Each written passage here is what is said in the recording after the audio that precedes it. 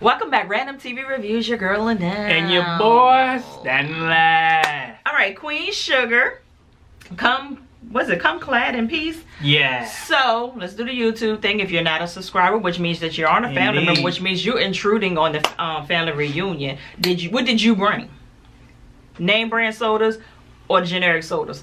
That will let you know whether or not you're a family member or not. But no, for real, hit that subscribe button. You're already over here. You might as well. It's free Might right as now. Well, yeah. It's going up soon. the trial is gonna be over soon. um, go ahead and rate the video. Thumbs up, thumbs down, doesn't even matter because you're already been counted. You're already here. Um, I'm gonna go ahead and throw this one in here because most YouTubers be saying that. Now go ahead and share my videos on all your major platforms and all that. yeah. Let everybody know about us. Yeah. You know, we trying to get it how or, we live. or like um, what you call it on Pump Chasers? Uh, what the name is? Uh. Chris Jones. Chris Jones said, "If you so happen to give a buck." Look, this episode right here, it didn't give us a lot, but it gave us a lot.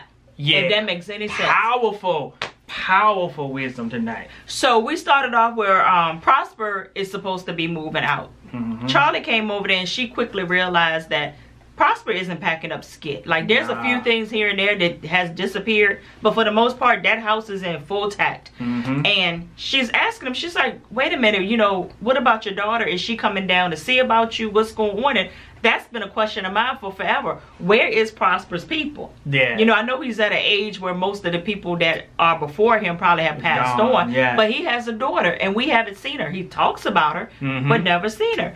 So Charlie realized at this moment, look, I'm going to go ahead and take this into my own hands. He was going to go and eat brunch with Vi. So then we see, you know, the gang get together. Vi, I mean, not Vi, um, Charlie, Nova, and, And Rob. Rob. They're over there, you know, they, you know, packing up his stuff. You know, they having moments. You know, they're Mhm. seeing pictures of their dad and Yeah. told Rob, like, look at you. You look, Look just, just like, like your daddy. You know, mannerisms and all. You know, just going down memory lane. And Nova, you know, spoke to Charlie about the EPA. She said she Mhm. got somebody to look into it.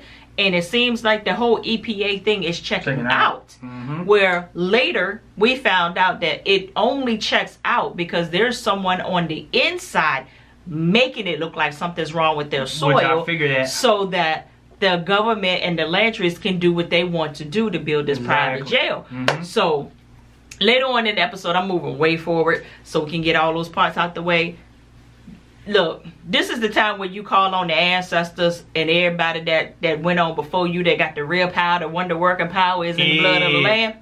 And she went out there to the field with her sage and she went ahead and did a ritual of cleansing and protecting over this land because what we're Mhm. not gonna do is come this far by faith, hard work, labor, and people's lives And then lose all of it. Yeah. and to lose all of this Yeah. because you want to build a private jail on something that don't belong to you. So you can make some more money.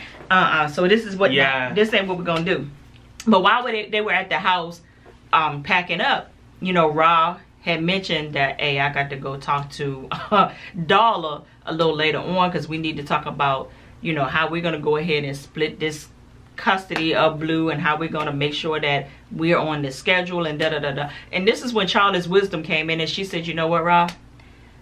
Basically, she told Rob that's a good thing. But what you need to do is stick to the schedule. Don't defer from it and keep your emotions out of it. Which y'all know that's tough for him because he always up in his feelings. Mhm. when he get his feelings, he start talking real low. But he received it because he know that his sister is going, Going through, through that same exact thing. same thing. So she's Yeah. not talking from a place of judgment or nothing. She's talking about this is where I am. And this is what I have to deal with. Yeah, and I wanted to backtrack and, and say this about Prosper. As wise as he is, because you know he's been around for a while, he is a very prideful man. Aren't they all in that age group? You know, he knowing that all this is going on, but he didn't want no help. None. See, he he's so used to always helping somebody else out, he don't know how to receive. And I know I've been there. That you so used to always helping everybody else in the crunch and being the backbone, which we saw last week, he was the backbone for their father. Mhm. They're chalking him off the ledge so he won't shoot himself. So pretty much that let me know the type of person he was. So when it come time for him to need help, Can't do it. he can't ask nobody because he's too used to giving. And And he'll go down in the dirt yeah. with that. and that can kill you, Mhm. which almost killed um was them dad because he shelved everything on his own on his own shoulders and didn't want to get no help. Yep.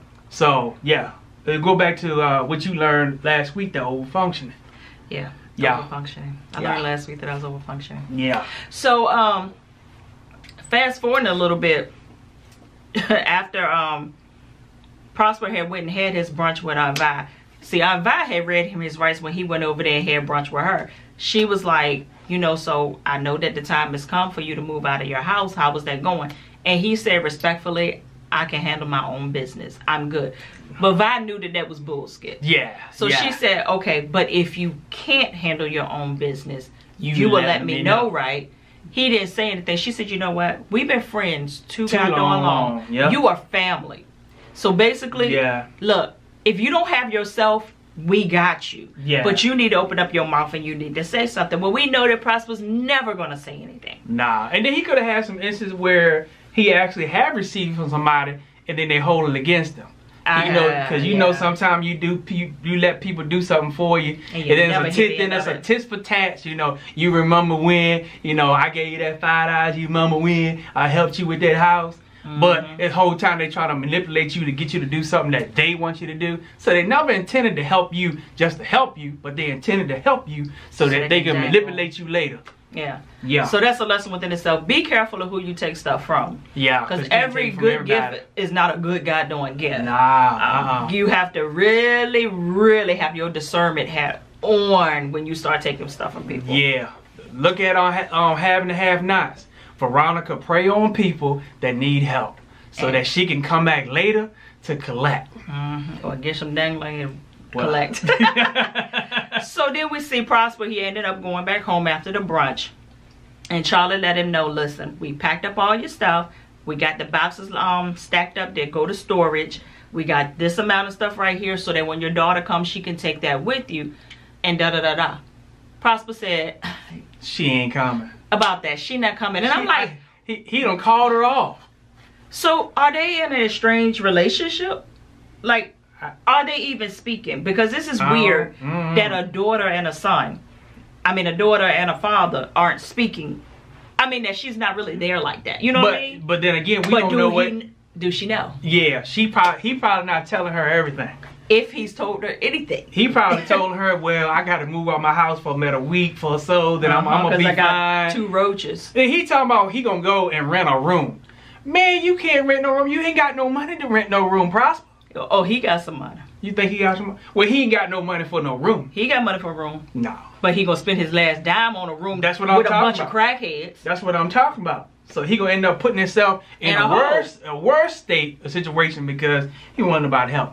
So, um, of course, Charlie, she was like, uh-uh, this ain't about to happen. Nah. I'm gonna sit right here in this chair, and I'm not leaving here without you. I have plenty of room in my house, and you gonna come to my house. And she just sat there and she went back in that chair and just Mhm. looked at him like, and what? Uh huh. and he was pissed. He said, stubborn, just like, like your father. dad.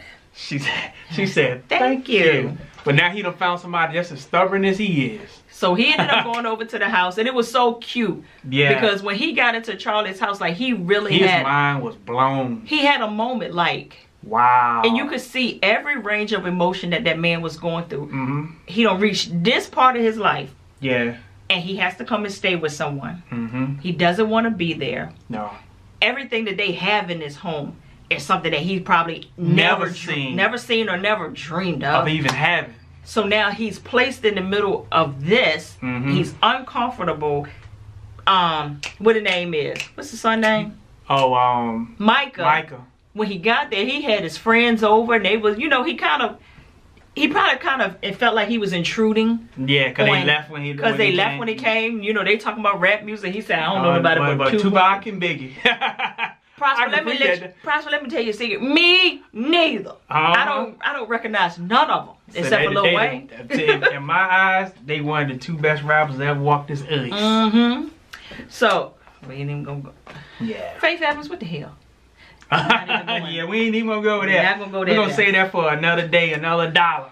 So, you know, Charlie is trying to make him as comfortable as as possible. She's Mhm. getting his stuff, his rocking chairs, and I mean his um recliner, all that. She's bringing that into the house and whatnot.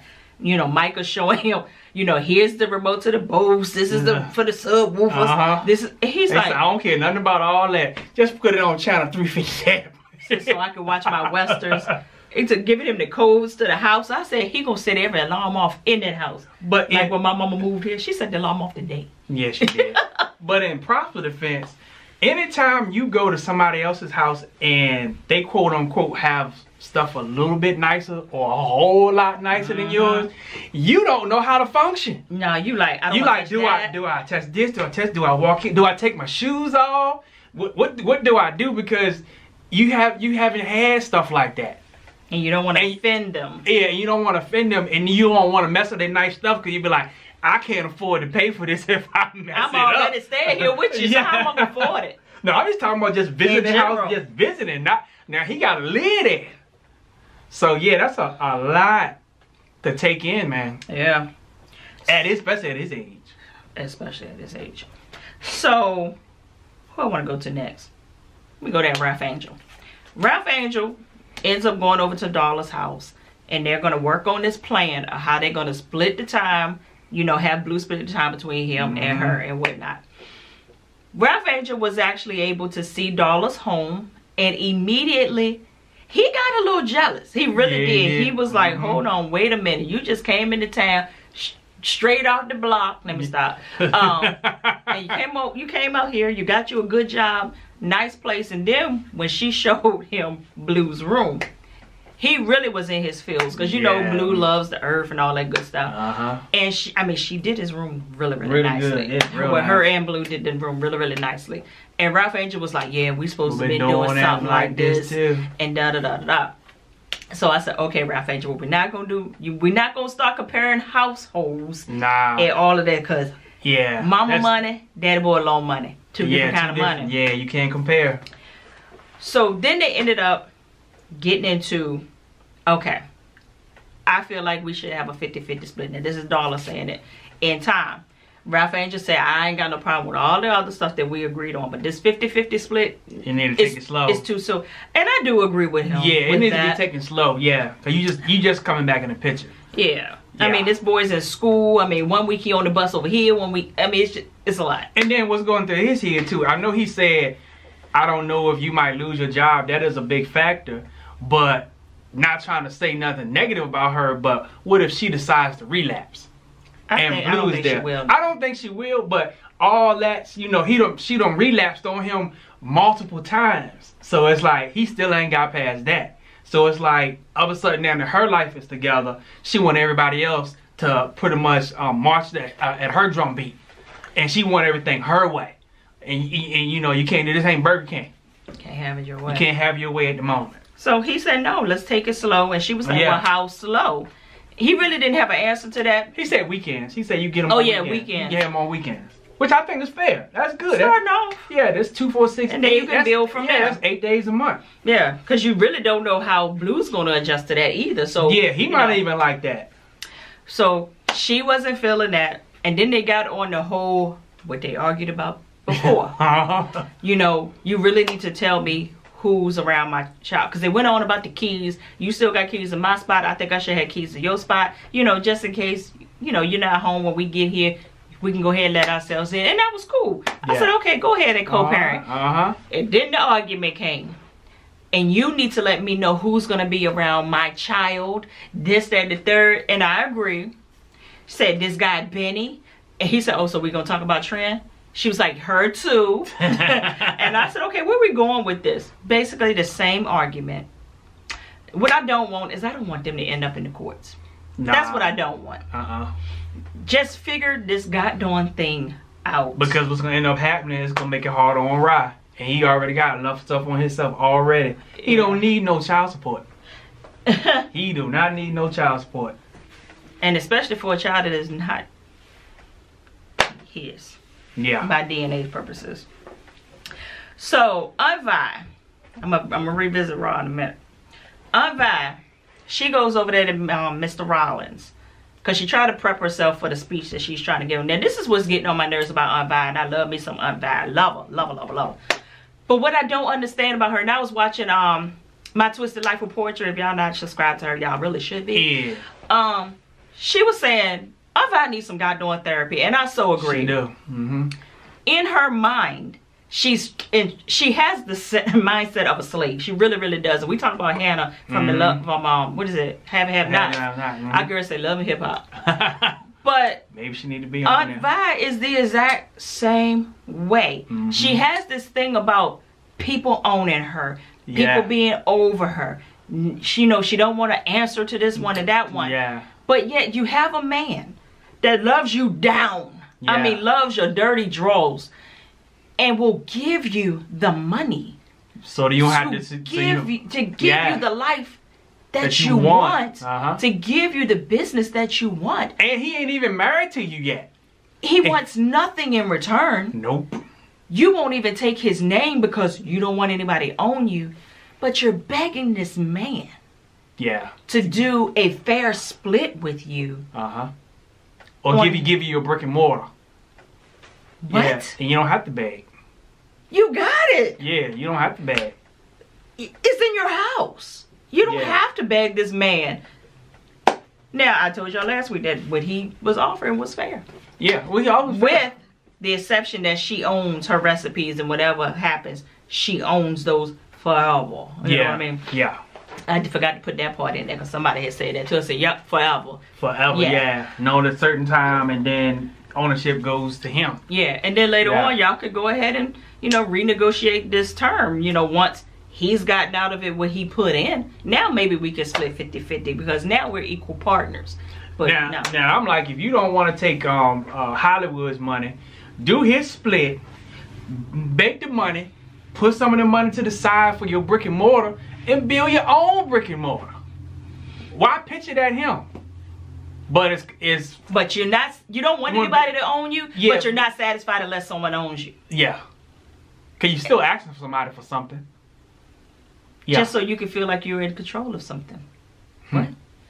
Anywho, so she goes over there and she tries to pitch her idea to uh, Mr. Rollins about the store. I mean, about the pie shop.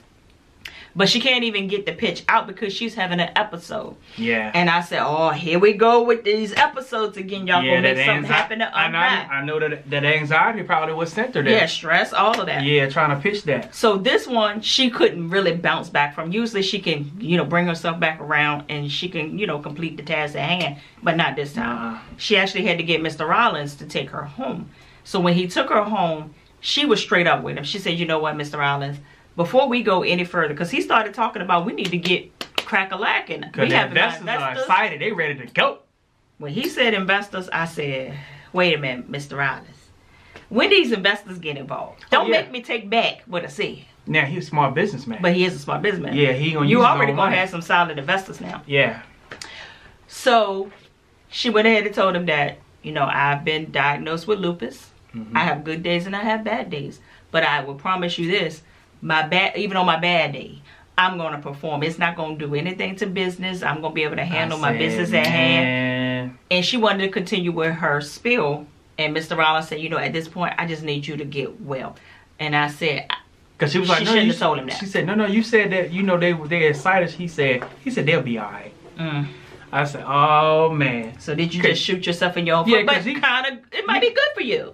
Yeah, it might be teach you a lesson because you go. If he take that, if in other words, he gonna have to take the information back to the investors. Because the reason what's gonna end up happening is that he gonna feel like the investors gonna feel like they got deceived. If Aunt Vi was to start this business and then all of a sudden she died, which we don't want to happen, and that's their money.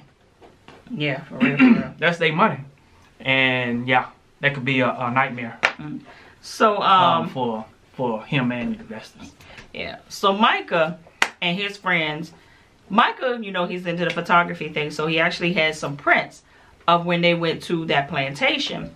So they started looking at the pictures, and it, it's a, you know, it's always different when you look at stuff in print. Yeah, it was And, disturbed. and it was taking- very disturbing. And And they're taking selfies. like taking it as a photo out, like, this oh is a look, joke. This uh-huh. a joke. you know, I hate to even see that like on Facebook and stuff when people go to like the Black uh, Museum and DC and all of that. The um, what is it? The historical stuff. I hate to see it because it's almost like you do not understand what Yeah. this was all about. Mhm. And this is what they're saying. You know, they make you know selfies, doing this, Doing doing that. They're making And- money off our history and yeah. and I mean, it's disrespectful. Mm-hmm. So they said, okay, what we gonna do? We gonna go up in there and we gonna represent and we gonna make some noise. And what they want to do is go ahead and tag every slave's name that lived on that plantation or worked on that plantation, Mm-hmm. and show them that what Black history really does look like. But they already know that they stand a chance of getting locked Locked up. up. So the plan is you're gonna have this one doing this, this one doing that, and Micah already is having flashbacks because he's already been, Been to jail yeah. So he know what it's all about. and he knows once he gets under their control, they can do whatever the buck they want to do to him. Exactly. And he really, you could tell he's kind of like, uh, I don't want to do it, but I, I I'm gonna do it. but I'm going to do it. And I said, I hope this, this, because we we But- already said it. But like I said, they, they the kids have good intentions, but uh, like I said again, they need some good leadership. Yeah. Because I would tell them no, that ain't the way of going about doing it. That ain't gonna change nothing. And you're going to feed right into what they want you. They want to mess your record up so you can Uh-huh. forever be in the system. Because if they find out that y'all did it, they're gonna put you in jail as long as they can, and then you ain't gonna definitely have no voice then. Mm-mm. So, sometimes you got to be smarter about this thing. Yeah, I'll be like, try to figure out how to get them out of business. Mm-hmm. That's what you want to do. The research to find out if they're doing it correctly as far as business. It's how you can stop people from going and supporting it to Mhm. put them out of business. Yeah. That's what you could possibly do. So Ralph Angel, he goes over there. Well, no, back up. Ralph Angel is really in his feelings about this whole um Yeah, yeah. this whole room. Uh huh. He's feeling like because he him and Darla had the argument about you came into town and now you got a nice house, nice car, da da da da da. Basically, so you think you're better than me? You think you can provide better than me? da da da. I mean, they went back and forth, back and forth. So now Ralph is in his feelings, and he goes back home. Well, actually, he stopped by and saw Trent first, and he treated her all kinds of rude, and she was like, basically, what I do? I had fun at your party. You know, when I get her age, I would like to be, you know, bouncing around like she is. He okay, like, whatever. I'm just here to get my check. Um, he gets over there to the house and he's drinking some Henny straight out the bottle. Mhm. And Nova comes in. He's sitting in Blue's room. And Nova was like, uh, Raphael said, I don't want to talk, about, it. She said, "Give me that bottle," and me neither. So both of them going through it, you know, they're having conversations and whatnot. And Ralph Angel told her, said, listen, I need to go ahead and pick up some more shifts.